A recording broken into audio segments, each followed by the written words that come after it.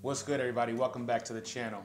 Today's videos are pretty cool. We've got a lot of gear on the table right now and of course you can see this giant 4x5 camera first and foremost.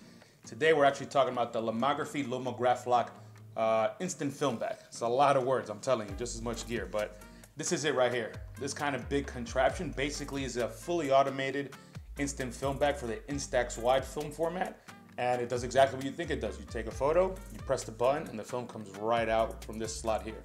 This thing's pretty cool because it's designed specifically to go on 4x5 cameras like the one you see right here.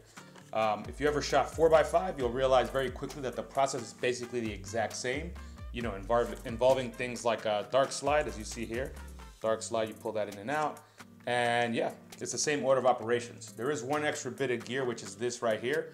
And basically this thing is a physical spacer. You put this where the ground glass goes and it actually allows you to focus your image according to the distance required for the back here. All that means is that the place where the film typically is, the film plane on the typical camera, needs to be pushed back slightly in order to accommodate the design of this instant film back. And therefore you put this in there and then you focus. And that'll give you a very accurate pinpoint sharp uh, focal point with the new film plane. So that's about it. Before we go any further into kind of my thoughts about this product, let's go ahead and check out some footage here of my friend Albert creating a portrait of me using this instant film bag.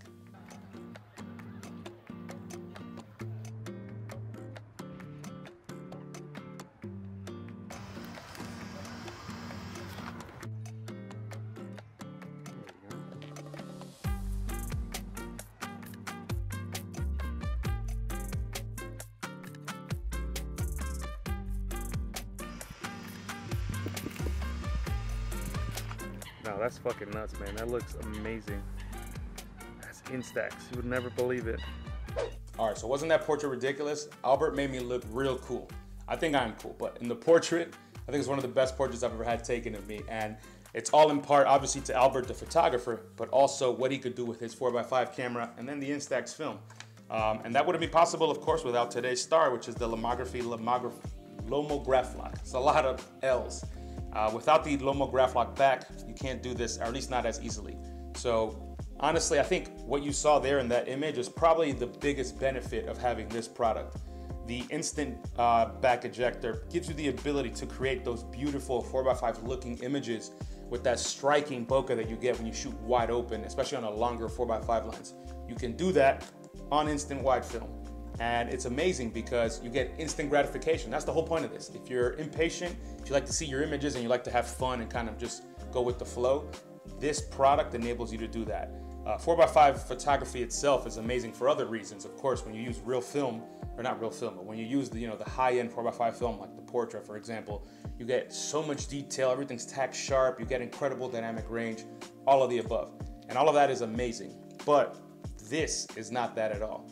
So if you're a 4x5 shooter who really cares about all those things like detail and you know having the most quality and dynamic range and all that, um, this product, you know, instant wide film by Fujifilm is not going to give you that, and thus you probably don't need to invest in this because you're not going to like it. Um, if you don't care about that and you just want to have fun with your 4x5 camera like I do, this is amazing because it compels you to get out there and use it. Um, and there's a couple things that I think you might like but might not like about how to use it. You know, if you're gonna go out there and shoot landscapes, for example, with your 4x5 camera on instant film, I feel like it's probably not that worth it because the results that you get, although they're cool, given that you get your little instant print right away, um, you know, I feel like landscapes are the kind, the kind of thing that really lend themselves to detail and dynamic range, especially when you have the sky and all that. I just don't think it's gonna look that great. But if you're gonna shoot a lot of portraits, whether outside or in the studio or, or just of your friends, this is such a good package. In fact, I think that's what everybody should be doing with this because again, you get that 4x5 look that's so unique and you get it on instant film immediately without having to, you know, buy all this expensive Portra, get it developed and then scan it and all that. You don't have to do anything. You get your image in the physical and you can look at it and think to yourself, damn, this is cool. So that's why I like this product and that's why I'm gonna keep using it. Um, but I recognize it's probably not for everyone. So how do you use this thing? It's actually, you know, fairly straightforward. Um, it is a bit handsy and can be a bit frustrating, but the process is very analogous to 4x5. So this is how it goes. You have your camera, you know, you point it at something. The first thing you need to do is actually insert this where the film holders go.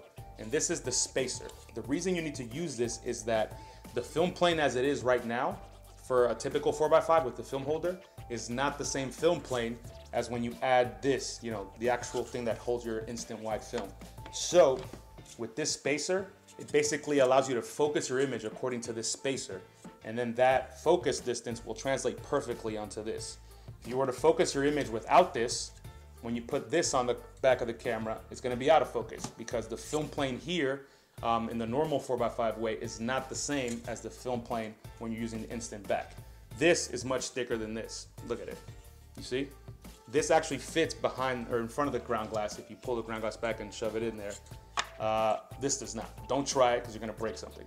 So ultimately, the process is like I said, put this in your camera, focus your image on the ground glass according to the spacer here, remove the spacer, then remove the entire ground glass off of your camera, and then just attach this. And then you pull out the dark slide. Remember, this has a dark slide, just like 4x5 photography. Pull out the dark slide, expose your image by triggering your lens, put the dark slide back in, and that's it. Image has been created. And then of course, remove this from the camera, press the ejector button that you see right there, and out comes the picture. It sounds a bit complicated, I know, but if you shoot 4x5, then this doesn't really you know, make that big a difference. It shouldn't be that complicated. I will say, the way that I use it in the Feasting on Film 3 episode, which you can see in this link right here, uh, was not ideal, honestly. You know, I had all those you know steps that I just told you in terms of the hands things you need to do to remove this and add that and blah blah blah. But then, you know, I was doing portraits on the fly outside in the street with strangers. So not only did they need to be patient with me, I needed to then, you know, get all this done. I also needed to meter, which is the most important step when shooting Instax wide. And, you know, and then I had to create the images. So if you watch that video, I'm a bit kind of, you know, nervous, not nervous. I was a bit anxious, a bit sloppy all over the place. That's because doing all these steps, plus talking to random strangers, plus metering for ISO 800 film in broad daylight, is not fun. And to make it even more challenging, I was using this, an ND filter. It was three-stop ND filter. I was holding it in front of the lens there in order to allow me to shoot wide open on this camera, or at least as wide open as possible. So it's not easy, it's a lot of work if you're doing it that way. If you're just taking photos of your friends, or if you're in the studio, then it's a whole different beast. It should be much chiller, and that's what I plan on doing with this camera. Um, but it was a lot of fun. This is the thing. Despite all that pressure, despite all that stress, I just had so much fun. And when the images come out, especially when they come out nice, this is amazing. Um, so yeah, I would recommend if you're considering getting this for the sake of fun and for the sake of, you know, kind of doing something a little bit different with 4x5, especially on this, then 100% get it. But if you care about those super pristine results that 4x5 typically gives, you, um, maybe don't get this. I feel like it's just gonna sit around and you're not really gonna use it because you care about a particular image and this is not gonna give you that particular image. Um, but at the end of the day, the images you create on here are, are, only as good as you know your camera and its lens, but more importantly, as Instax. If you meter properly, you should get pretty good usable images. But if your scene has a lot of dynamic range in it, no matter how you meter, something is not going to be ideal, whether it's your highlights or your shadows, because I don't know the technical details on this, but I bet you it's not you know the typical five six stops of, of dynamic range. It's probably a little bit less than that. Um, but anyways, that's it. I would say, you know, go cop this if you're interested because I think you're gonna like it. All right, y'all, that's the video for today. If you enjoyed it, please go ahead and like the video. And of course, if you haven't subscribed yet, go ahead and subscribe. Feasting on Film 4 is coming out soon, and that's from my trip to Portugal. And I drink a whole lot of wine and I get drunk. The whole Feasting on Film series has been a lot of fun. You can check out the playlist right here, and I recommend you check it out. All right, y'all, that's the video. I'm out.